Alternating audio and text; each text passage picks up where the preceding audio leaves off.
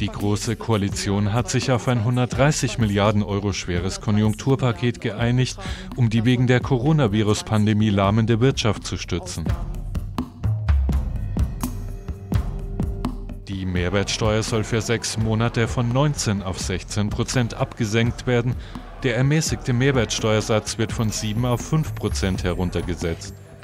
Die EEG-Umlage sinkt, um Strom billiger zu machen. Für kleine und mittlere Unternehmen gibt es zusätzliche Überbrückungshilfen im Volumen von bis zu 25 Milliarden Euro. Familien erhalten einen einmaligen Bonus in Höhe von 300 Euro pro Kind. Der Freibetrag für Alleinerziehende soll angehoben werden. Zusätzlich 3 Milliarden Euro fließen in den Ausbau von Schulen und Kitas. Zuschüsse an die Sozialkassen sollen sicherstellen, dass die Beiträge nicht ansteigen.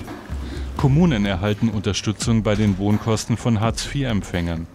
Eine Übernahme von Altschulden durch den Bund wird es dagegen nicht geben.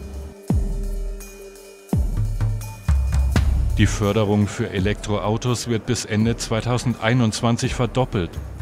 Außerdem gibt es Flottentauschprogramme für Firmen und Handwerker.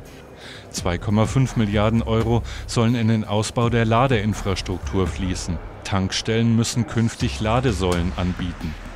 Eine neue Kaufprämie für Autos ist dagegen nicht geplant. Die Deutsche Bahn erhält 5 Milliarden Euro zusätzliches Eigenkapital.